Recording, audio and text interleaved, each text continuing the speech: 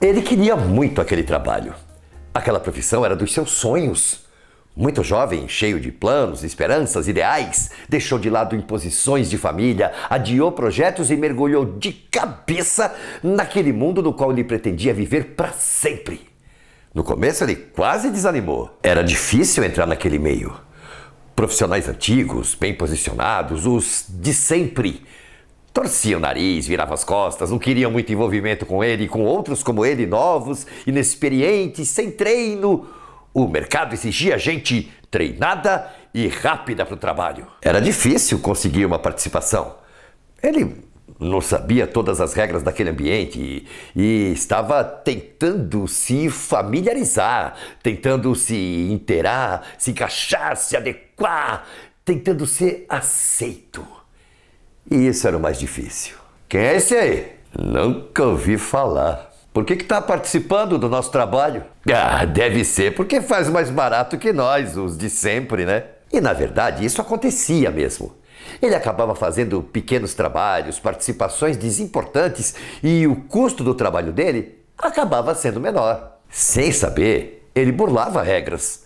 Mais tarde descobriu que estava transgredindo essa ou aquela norma. Os de sempre alegavam com tanta segurança que aquilo era a lei que ele acreditava, sem verificar, sem meios para descobrir. Não era lei nenhuma, era apenas uma norma interna, um combinado, uma praxe. Mas ele engolia a informação de que era a lei e pronto.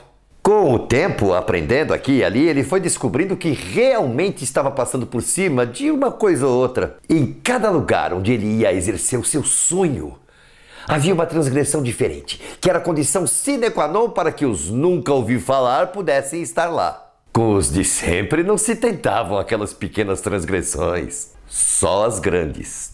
E grandes transgressões não se comentam, não aparecem. Um de sempre não acusa outro de sempre. A Irmandade se protege. Mas os nunca ouvi falar apareciam. E ele ainda era um nunca ouvi falar. Qualquer deslize dele era notícia e motivo para bloqueios. Mesmo com toda a dificuldade que um nunca ouvi falar tem que enfrentar, ele insistiu. Se manteve apegado ao sonho. Ele ia pertencer àquele mundo.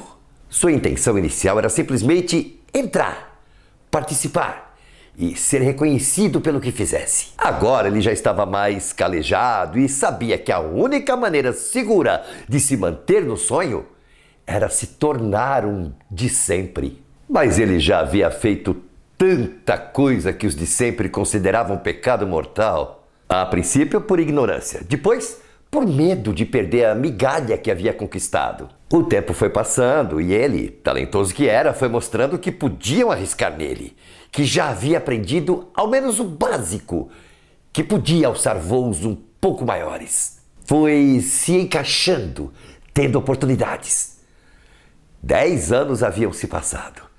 Ele já tinha deixado de ser oficialmente um nunca ouvi falar, mas os enganos do passado ainda estavam grudados na pele dele, dentro das roupas dele, escorrendo pela grafia do nome dele. Era difícil se livrar daquilo. Os de sempre eram implacáveis. Ele ainda sofreu por mais alguns anos os freios rasgando a sua boca, as rédeas impedindo o seu progresso, as esporas ferindo seu flanco para que ele corresse para longe. Mas ele resistiu. Agora mais velho, mais experiente, mais político, mais esperto, mais vivido, ele já tinha aprendido as verdadeiras regras do jogo.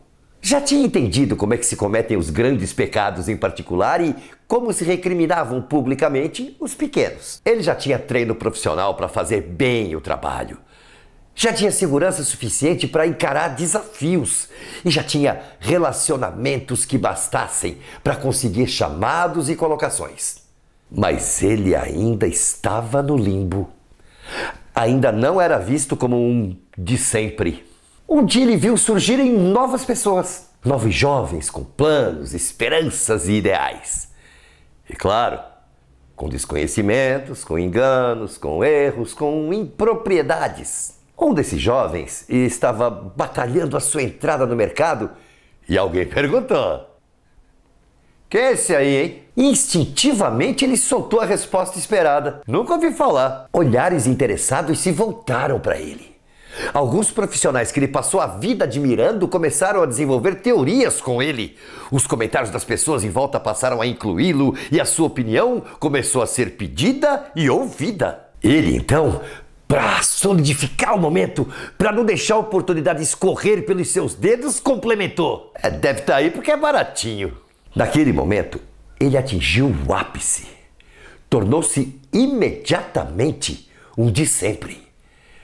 Dali em diante, ele passaria a viver no tão sonhado Olimpo. Mas dentro dele, no mesmo instante, morria um jovem cheio de planos, esperanças e ideais que tinha lutado muito para se manter à tona por mais de uma década.